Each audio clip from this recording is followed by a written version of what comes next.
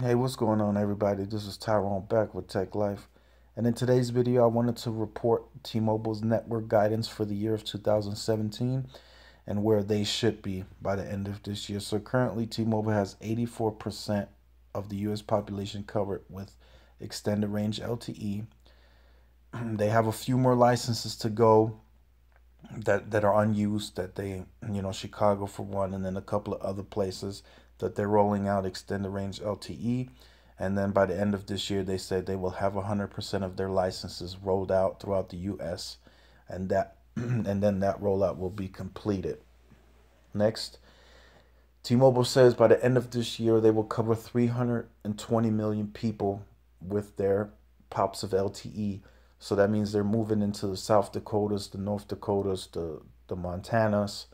So that is definitely really good to see them expanding. And so that means they will open up more retail stores on both Metro and T-Mobile side. That means more distribution. That means bigger growth. So T-Mobile will take on a lot more growth in the year of 2017 and going into 2018. So that's really exciting to see.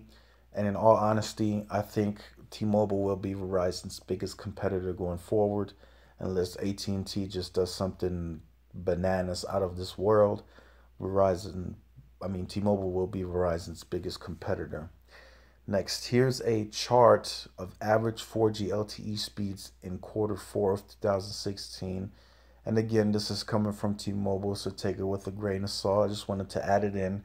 T-Mobile says these reports come from Ookla Ookla and billions of people that are running these speed tests on a daily. So as you can see, T-Mobile number one, Verizon two, AT&T three, Sprint fourth. So Verizon and T-Mobile are neck and neck, and AT&T is also really close, and then Sprint is fourth with 15.2 megabits. So if I'm T-Mobile, I'm a little bit concerned here. Verizon has double the amount of customers that you do, and you're barely beating them. I mean, barely.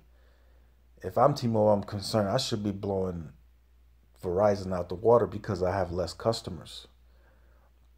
But that's not the case. So we'll see. Now that Verizon is offering unlimited, we'll see how their speeds are going into 2017 Q1, Q2. So we'll definitely got we'll definitely have some exciting movement going on there. I will also do my own testing, so definitely stay tuned to the channel. I'm almost at 15 gigabytes, so I'm getting close to their uh, their threshold of 22 gigabytes. So stay tuned. I will definitely do some testing to see if there's any slowdown or anything like that. So definitely like these videos. It keeps me going, keeps me motivated. Like, share, subscribe. And this is Tyrone with Tech Life. And I will see you guys in the next video. Peace.